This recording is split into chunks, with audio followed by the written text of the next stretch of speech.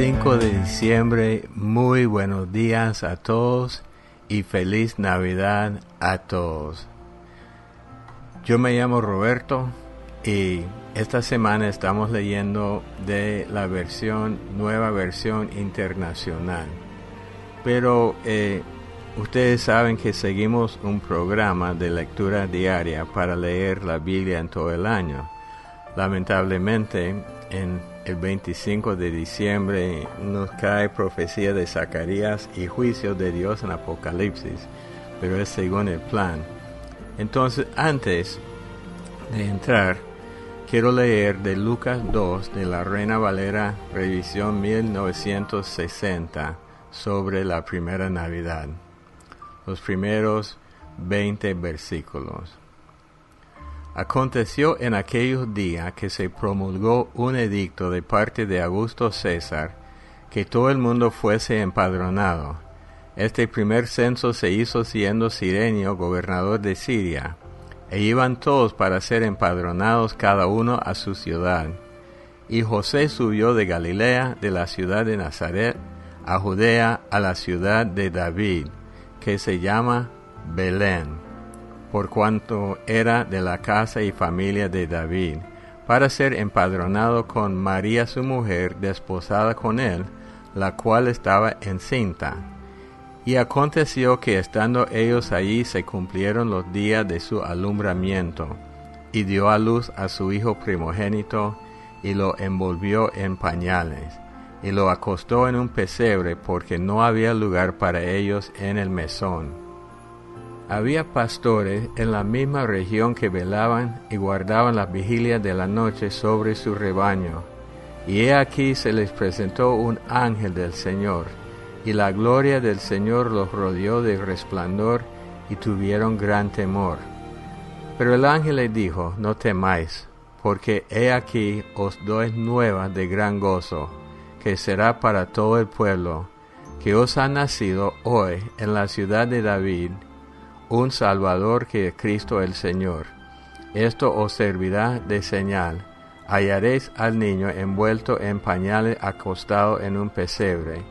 Y repentinamente apareció con el ángel una multitud de las huestes celestiales que alababan a Dios y decían, Gloria a Dios en las alturas, y en la tierra paz, buena voluntad para con los hombres.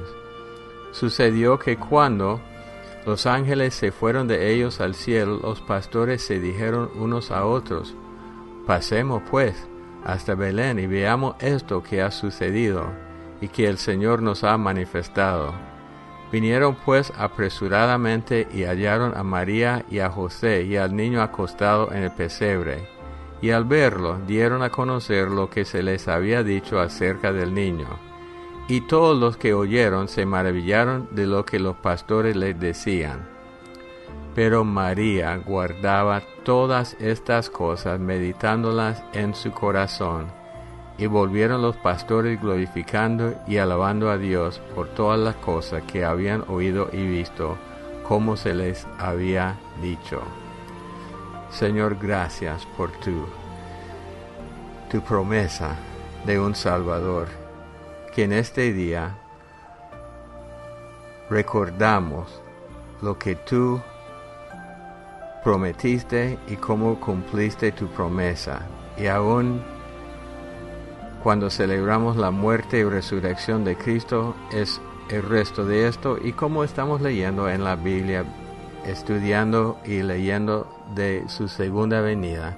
Gracias porque tú eres un Dios fiel que siempre cumple tus promesas. Gracias. Bueno, de, del plan, Zacarías capítulo 8. Otra vez vino a mí la palabra del Señor de los ejércitos y me dijo, Así dice el Señor de los ejércitos, siento grande celo por Sión, son tanto mis celos por ella que arro de pasión. Así dice el Señor, regresaré a Sión y habitaré en Jerusalén, y Jerusalén será conocida como la ciudad de la verdad y el monte del Señor de los ejércitos como el monte de la santidad.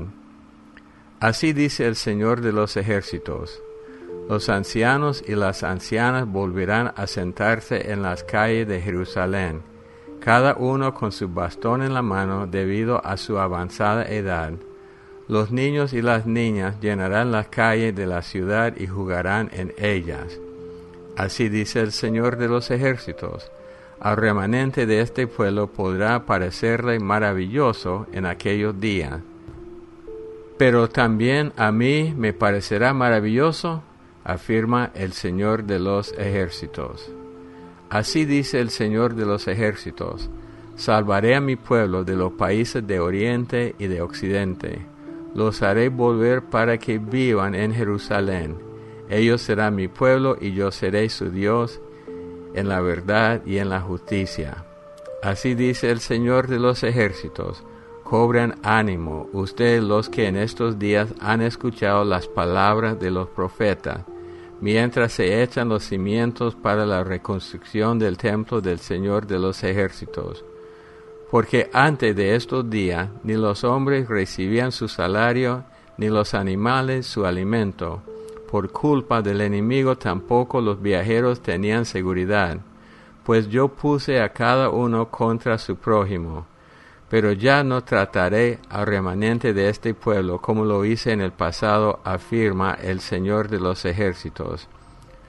Habrá paz cuando se siembre, y las vides darán su fruto. La tierra producirá sus cosechas, y el cielo enviará su rocío. Todo esto se lo daré como herencia al remanente de este pueblo.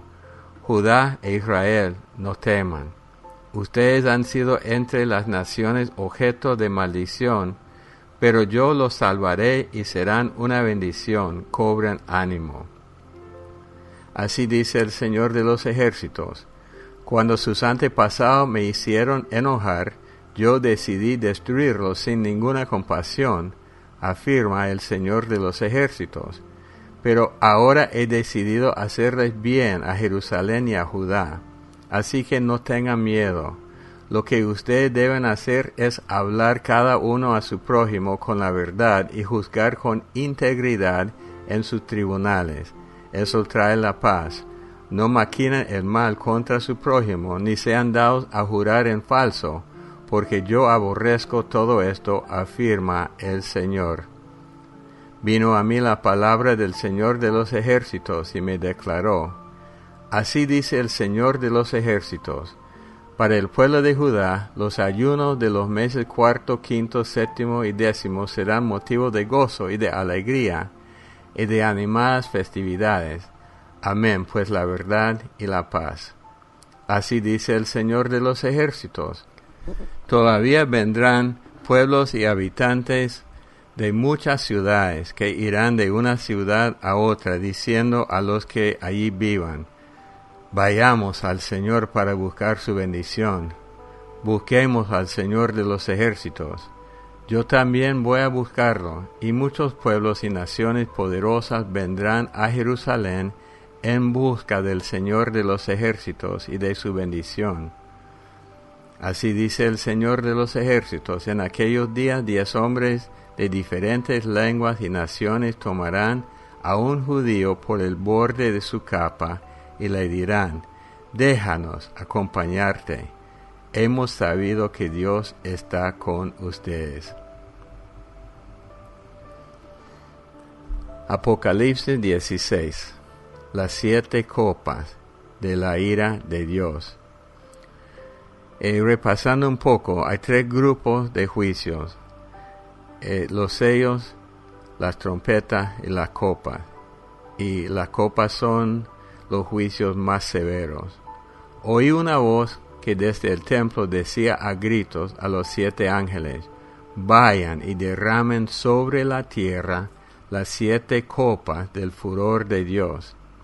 El primer ángel fue y derramó su copa sobre la tierra, y entonces a toda la gente que tenía la marca de la bestia y que adoraba su imagen, le salió una llaga maligna y repugnante el segundo ángel derramó su copa sobre el mar y el mar se convirtió en sangre, como la de una persona muerta, y murió todo ser viviente que había en el mar.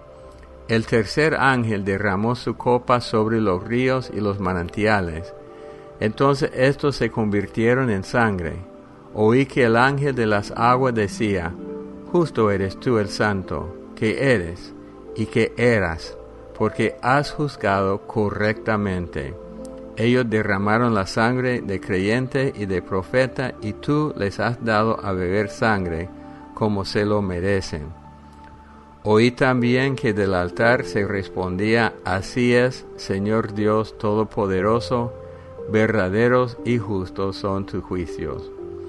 El cuarto ángel derramó su copa sobre el sol, al cual se le permitió quemar con fuego a la gente.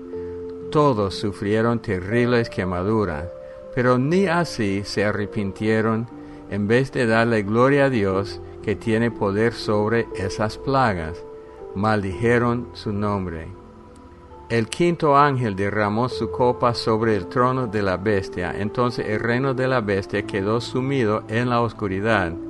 La gente se mordía la lengua de dolor, y por causa de sus padecimientos y de sus llagas maldecían al Dios del cielo, pero no se arrepintieron de sus obras.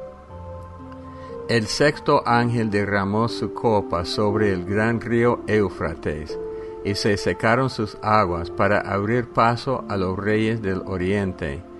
Y vi salir de la boca del dragón, de la boca de la bestia, y de la boca del falso profeta tres espíritus malignos que parecían ranas. Son espíritus de demonios que hacen señales y que salen a reunir a los reyes del mundo entero para la batalla del gran día del Dios Todopoderoso. Cuidado, vengo como un ladrón. Dichoso el que se mantenga despierto, con su ropa a la mano, no sea que ande desnudo y sufra vergüenza por su desnudez. Entonces los espíritus de los demonios reunieron a los reyes en el lugar que en hebreo se llama Armagedón. El séptimo ángel derramó su copa en el aire, y desde el trono del templo salió una gran voz que decía, está hecho. Y hubo relámpagos, estruendos, truenos y un violento terremoto. Nunca desde que el género humano existe en la tierra se había sentido un terremoto tan grande y violento. La gran ciudad se partió en tres y la ciudad de las naciones se desplomaron Dios se acordó de la gran Babilonia y le dio a beber de la copa llena del vino y de la ira de su castigo. Entonces huyeron todas las islas y desaparecieron las montañas.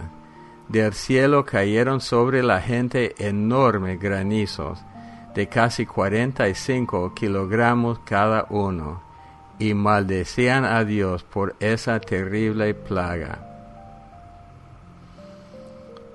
Salmo 144, Salmo de David. Bendito sea el Señor mi roca, que adiestra mis manos para la guerra, mis dedos para la batalla. Él es mi Dios amoroso, mi amparo, mi más alto escondite, mi libertador, mi escudo en quien me refugio. Él es quien pone los pueblos a mis pies. Señor, ¿Qué es el ser humano para que lo cuides? ¿Qué es el simple mortal para que en él pienses? Todo ser humano es como un suspiro, sus días son fugaces como una sombra. Abre tu cielo, Señor, y desciende. Toca los montes y haz que echen humo. Lanza relámpagos y dispersa al enemigo.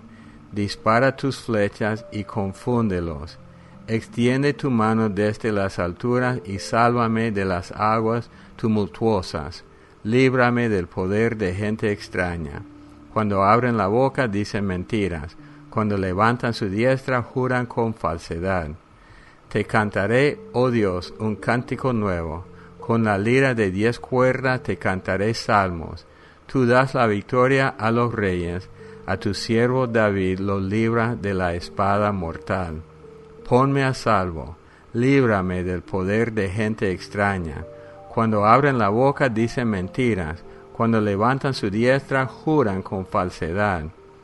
que nuestros hijos en su juventud crezcan como plantas frondosas, que sean nuestras hijas como columnas esculpidas para adornar un palacio, que nuestros graneros se llenen con provisiones de toda especie, que nuestros rebaños aumenten por millares, por decenas de millares en nuestros campos, que nuestros bueyes arrastren cargas pesadas, que no haya brechas ni salidas, ni grito de angustia en nuestras calles. Dichoso el pueblo que recibe todo esto, dichoso el pueblo cuyo Dios es el Señor. Proverbios 30, versículos 29, 30, 31. Tres cosas hay que caminan con elegancia y una cuarta de paso imponente. El león, poderoso entre las bestias, que no retrocede ante nada. El gallo altivo, el macho cabrío y el rey al frente de su ejército. Bueno, siendo la Navidad, vamos a ver la copa de la ira de Dios. Ahora vemos que como siempre en el libro de Apocalipsis, cuando hay juicio en la tierra, en el cielo hay adoración, diciendo siempre que los juicios de Dios son justos. Es algo que siempre enfatizo con mis alumnos. Lo que Dios hace es justo. Porque en medio de, de todo esto, hay un ángel que decía, justo eres tú el santo, que eres, que eras porque has juzgado correctamente. Y lo más este, deprimiente para mí es que con todo esto la gente solo responde maldiciendo a Dios. Ellos sabían que Dios había hecho esto. Escuchen, no hay ateos en el libro de Apocalipsis, en esta parte porque los juicios de Dios todo el mundo sabe que Dios los está juzgando, sin embargo no hay arrepentimiento. Y Dios, como hizo con las plagas en Egipto, este, cada plaga más difícil, mostrando la gloria de Dios y dándoles las oportunidades para arrepentirse. Y ustedes saben, saben que nosotros llamamos las diez plagas las diez oportunidades y se ven aquí a través de los sellos y las trompetas, pero en los últimos juicios de las copas, Dios está derramando su juicio sobre toda la gente. Hay quemaduras, hay granizo que pesan demasiado y todo el mundo maldice a Dios. Terremotos que no habían nada parecido en toda la historia humana todas las, las montañas se caen y todas las islas desaparecen porque la ira de Dios está completa. Ahora algo, algo para pensar, solo esto para pensar, porque tenemos que ver desde el punto de vista de Dios, de la eternidad, y no solamente eh, como pensamos nosotros porque Cristo en Apocalipsis dice que viene pronto, pero para nosotros no era pronto. Y allá en el versículo 17 de este capítulo que leímos, el séptimo ángel, al derramar su copa en el aire, una gran voz decía, está hecho, o ya todo está completo. Jesucristo dijo lo mismo cuando murió en la cruz, pero él está hablando de de la paga de nuestro pecado, de nuestra salvación, ahora está hecho, se termina de toda posibilidad. Y los demonios están reuniendo a la gente a un lugar que se llama Armagedón. Hoy día popularmente Armagedón representa tiempos difíciles, pero en verdad es una batalla corta porque el juicio de Dios se derrama sobre la tierra. Mañana vamos a seguir con el capítulo 17. Oremos, Padre Dios, en este día, celebrando la Navidad y viendo la totalidad de la ira de Dios sobre un mundo que no quiere arrepentirse. Te damos la honra y la gloria.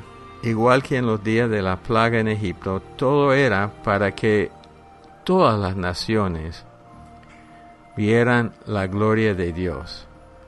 Nosotros reconocemos tu gloria, tu justicia, y te damos toda la honra y la gloria.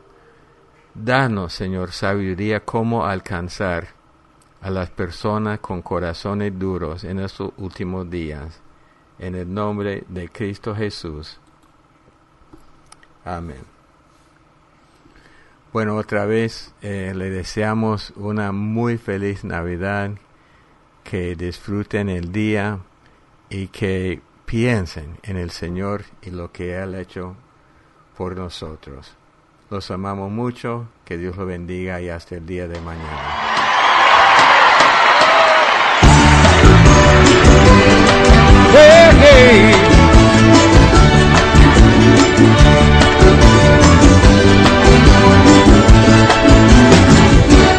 Feliz Navidad, feliz Navidad, feliz Navidad, próspero año y felicidad. Feliz Navidad, feliz Navidad, feliz Navidad, próspero año y felicidad. I wanna wish you a Merry Christmas. I a Merry Christmas. I wanna wish you a Merry Christmas from the bottom of my heart. I wanna wish you a Merry Christmas. I wanna wish you a Merry Christmas. I wanna wish you a Merry Christmas from the bottom of my heart. Feliz Navidad. Feliz Navidad. Feliz Navidad, próspero año y felicidad.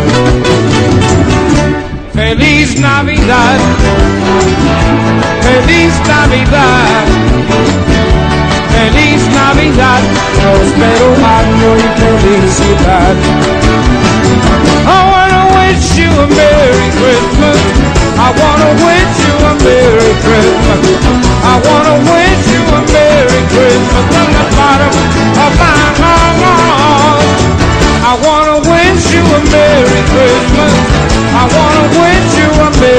Christmas. I wanna wish you a Merry Christmas from the bottom of my heart. Feliz Navidad. Feliz Navidad. Feliz Navidad, próspero año y felicidad. Feliz Navidad, feliz Navidad, feliz Navidad, próspero año y felicidad.